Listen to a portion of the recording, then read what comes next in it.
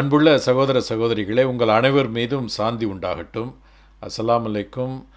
இன்றைக்கு நண்பர் ஃபெரோஸ்கான் அவர்கள் சிங்கப்பூரிலிருந்து ஆடிட்டர் ஃபெரோஸ்கான் அவர்கள் நம்மோடு இணைகிறார். இன்றைக்கி வந்து ரொம்ப சுவாரஸ்யமாக அவர் சந்தித்த மருத்துவர்கள் அவர் கேள்விப்பட்ட மருத்துவர்கள் நோயாளிகள் இவர்களிடமிருந்த அனுபவங்கள் அதிலிருந்து அவருக்கு கிடைத்த படிப்பினைகள் இதை பற்றியெல்லாம் சொல்ல இருக்கிறார். அதுக்கு முன்னாடி வந்து ஏன் இந்த மாதிரியான படிப்பினைகளை அனுபவங்களை மற்றவர்களோடு பகிர்ந்து கொள்ள வேண்டும் என்று சொல்லி முதலில் துவங்குகிறார். அதற்கு பிறகு ஒவ்வொரு அனுபவமாகவும் பிறகு படிப்பினையாகவும் நாம் பார்ப்போம். அஸ்ஸலாமு அலைக்கும் நண்பர் ஃபெரோஸ்கான் அலைக்கும் சலாம். உங்கள் மீதும் இறைவனின் சாந்தி உண்டாவதாக. நோயாளிகள் எச்சரிக்கை என்னும் தலைப்பில் நாம் பேச இருக்கிறோம். இதற்கு உந்துதலாக இருந்தது எது? டாக்டர்ஸ் டைலமா என்று பெர்னாட்ஸா அவர்கள் ஆயிரத்தி தொள்ளாயிரத்தி ஆறாம் ஆண்டு அஹ், இங்கிலாந்திலே அரங்கேற்றிய நாடகம். அது அந்த புத்தக வடிவிலே வந்திருக்கிறது நாடகமாக. அதில் பல விஷயங்களை சொல்கிறார்கள். அதாவது தனிப்பட்டு வைத்தியம் பார்க்கக்கூடிய மருத்துவர்கள் சிலர் எப்படியெல்லாம் ஏமாற்றுகிறார்கள் என்பதை உதாரணமாகவும் சொல்கிறார். அதாவது யூஎல் யூவிஏ என்னும் ஒரு பகுதி தொண்டையில அது இருந்தாலும் இல்லாட்டாலும் ஒன்றும் பெரிய பிரச்சனை இல்லை. அதை ரிமூவ் பண்றதாக காமிச்சு எப்படி ஸ்பெஷலிஸ்ட்டு பணம் சம்பாதிக்கிறாங்கன்னு சொல்லிட்டு அது விளக்குறா இது மாதிரி நிறைய போட்டிருக்காரு. அவர் ஒரு ஒரு நோயை சொல்லி எல்லா டாக்டரையும் போய் பார்க்கறது அப்படின்னு சொல்லிட்டு. அஹ் ஒரு சமீபத்தில் ஆக்ஸ்ஃபார்ம்ங்கிற அந்த உலகளாவிய அந்த ஒரு அமைப்பு வந்து ஒரு ஆய்வு செய்யும்போது ராஜஸ்தான்ல ஒரு இருபது வயசு பெண்களுக்கு ரத்தப்போக்கு இருக்குன்னு போகும்போது என்ன செய்யறதுன்னு சொன்னா அதுக்கு வைத்தியம் பண்ணாம இப்போ புற்றுநோய் வரும் அப்படி பண்ணி பயங்காட்டி அந்த நம்ம அந்த என்னது அந்த அந்த குழந்தை பெறதுக்குள்ள அந்த கர்ப்பப்பையை வெளியே எடுத்துடுறது அதை வந்து மிக நீங்க நீங்க கூகுள் பண்ணி பார்த்தீங்கன்னா தெரியும். இப்படி வந்து மிகப்பெரிய அநியாயம் நடக்கக்கூடிய இந்த உலகத்துல என் நானே தனி மனிதனாக பாதிக்கப்பட்டது நிறைய சம்பவங்கள் இருக்குது. நானோ என் குடும்பத்தாரோ என் உறவினரோ பாதிக்கப்பட்டது நிறைய சம்பவங்கள் இருக்கு. அதே நேரம் மிகச்சிறந்த மருவ மருத்துவர்களையும் நான் பார்த்துட்டேன். மனிதநேயம் மிக்க பணத்துக்கு ஆசைப்படாம வந்து அந்த அதை புனிதமாக கருதி செய்யக்கூடியவங்களும் பார்த்துட்டேன். என்னுடைய இந்த அனுபவம் பகிர்ந்து கொள்ளப்பட்டால் மக்களுக்கு மிகவும் பிரயோஜனமாக இருக்கும். அப்படிங்கிற ஒரே ஒரு ஒற்றை நோக்கத்துக்கு மட்டும்தான் இதை நாம் பேசுகிறோம் சில நேரங்களில் அந்த மருந்தை சாப்பிடாம இருந்தாலே பொழைச்சிருவாரு. சாப்பிட்டுட்டு இறந்துடுறாரு. ஒன்று. இன்னொன்று வந்து நிறைய டிகிரி போட்டிருப்பாரு பத்து பதினஞ்சு இருபது எழுத்து போட்டிருப்பாரு. இதை பார்த்துட்டு ஏமாந்துடுறாங்க அந்த படிச்சிருக்காருன்னு சொல்லிட்டு. ஆக எப்படி நீங்க டாக்டர்களை நல்ல டாக்டர் கண்டுபிடிக்கிறது? எப்படி இந்த அடிப்படையான மருத்துவ அறிவை நீங்க ஒவ்வொருத்தரும் ஆவரேஜா இருக்கணும் நமக்கு? எப்படி வந்து மோசமான டாக்டர்கிட்ட இருந்து நீங்க தப்பிக்கணும் ஆரம்பத்திலேயே? இப்படிங்கிற எல்லா அனுபவங்களும் இதில் கொலைத்து உங்களுக்கு கொடுக்குறேன் ஜூஸா கொடுக்குறேன். இறைவன் நாடினால் எதிர்காலத்தில் கடந்த காலத்தில் நீங்கள் பாதிப்பு ஏற்படுறீங்க எதிர் எதிர்காலத்தில் ஒரு விழிப்புணர்வோடு இருப்பீங்க. வந்து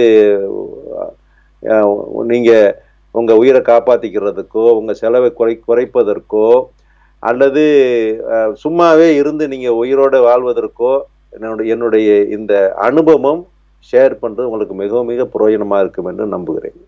நான் சிறுவயதாக இருக்கும்போது தாயாரோட ஒரு மருத்துவரை பார்க்க சென்றிருந்தேன். சென்றிருந்தேன். அப்போது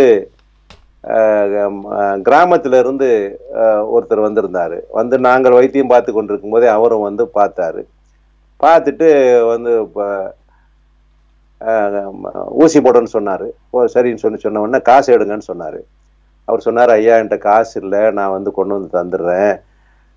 வந்து எனக்கு வைத்தியம் பாருங்கன்னு சொன்னார். உடனே அந்த டாக்டர் என்ன செஞ்சாருன்னா ரொம்ப ஆச்சரியப்படுவீங்க.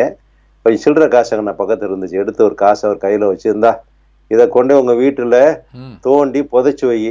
அது முளைச்சு வரும்ல. இது இப்படி நடக்குமான்னு கூட நம்ம நினைக்கிறோம். ஆனா இப்படி இருக்கிறாங்க. ஏன்டா போலி டாக்டர் ஏமாதி டாக்டர்லாம் இருக்கிற இந்த உலகத்துல வைத்தியம் பார்த்துக்கிட்டு இருக்க டாக்டர்லாம் இப்படி இருக்கிறாங்க. நான் அதிர்ந்து போனேன் நானும் எங்க அம்மாவும். வீட்டுல வந்து அதை சொல்லி சொல்லி எங்க அம்மா வந்து வருத்தப்பட்டாங்க. இப்படி ஒரு கிறுக்கனா வந்து டாக்டரா இருக்கான்னு சொல்லி அப்ப அந்த நோயாளுடைய மனநிலை எண்ணி பாருங்க. பார்த்த எங்க மனநிலை எண்ணி பாருங்க. இப்படி ஒரு ஆள் அரசு மருத்துவராக இருந்தார் அப்போ. அவருடைய வீட்டில் பார்க்கும்போது தான் அந்த வைத்தியம் நம்ம நான் அரசு மருத்துவம் போனால் தான் தெரியுமா உங்களுக்கு. அதனால வீட்டில் போய் பா அந்த காலத்தில் எல்லாம் வீட்டில் ப்ராக்டிஸ் பண்ணுவாங்க. அப்போ இதுக்கு என்ன காரணமாக இருக்கும்? அப்படின்னா அந்த ஆளுடைய பண ஆசை தான் பேராசை. பேராசை பெருநஷ்டம் சொல்கிறாங்க அந்த நஷ்டம் எங்கே வருங்கிறது ஏதாவது ஒரு கட்டத்தில் வரும் அவருக்கு இருக்கட்டும். இப்படி விளைவு என்ன?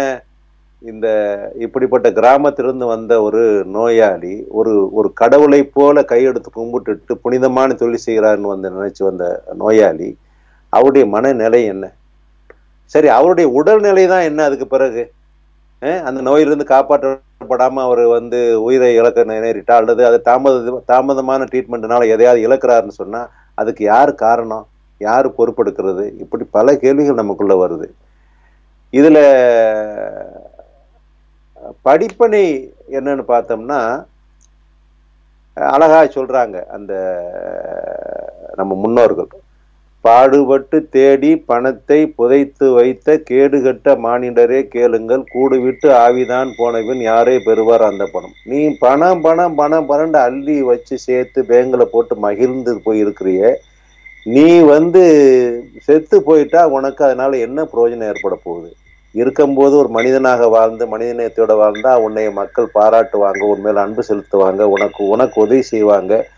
அப்படி இருக்கக்கூடிய காலகட்டத்தில் அப்ப இந்த நமக்கு என்ன தெரியுதுன்னா வெறுமனே ஒரு பேப்பர் டிகிரி வச்சிருக்க மூலமாக அவருக்கு ஒரு டாக்டருங்கிற அங்கீகாரத்தை நாம் கொடுக்க முடியாது.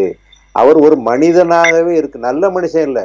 சாதாரண ஆவரேஜ் மனிதன் கூட இப்படி செய்ய மாட்டாங்கிற போது இவருக்கு இந்த மாதிரி ஆளுகளுக்கு டாக்டர் பட்டத்தை உடனே நான் ஒரு பிரசிடெண்டா பிரைம் மினிஸ்டரா சீஃப் மினிஸ்டரா இருந்தேன்னா சட்டத்தை போட்டு இதெல்லாம் கேன்சல் பண்ணி விட்டுறேன் இதன் மூலமாக நீங்க பாடம் படிச்சுக்கிறீங்க. டாக்டரை தேர்வு செய்வது இந்த மாதிரி மோசமான டாக்டர்களை பத்தி பிரச்சாரம் பண்ணுங்க. அந்த ஆளுக்கு பணம் வராம போகட்டும் அந்த ஆள் பிராக்டிஸ்ல இருந்து காலியா போகட்டும். ரொம்ப நன்றி.